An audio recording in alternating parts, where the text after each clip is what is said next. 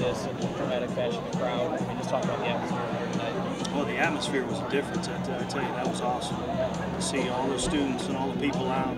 Uh, it was a regional type atmosphere on our campus, and, and I thought, again, it was a huge difference in the game. I think you get a good club in here. It was an outstanding game. It was a it was, it was a good game played on both sides. With that kind of atmosphere, it was awesome.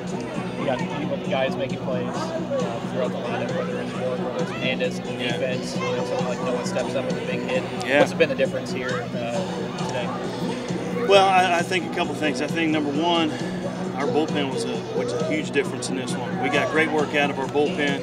Um, you know, Logan didn't have his best stuff, didn't have his command, but man, he competed. He competed, and then you know Grant came in. He was good.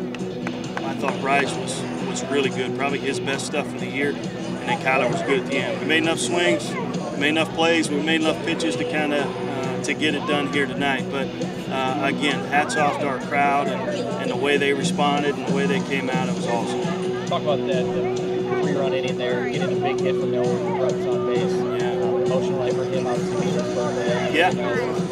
It was big. I tell you what, it was big. In that inning, I thought we had a lot of good swings that inning. You know, Matt hit, hits into a really, uh, a really tough out there, hits the line drive to left.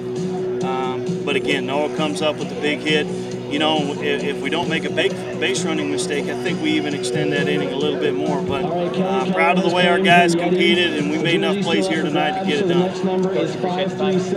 Thank you. 537 0060.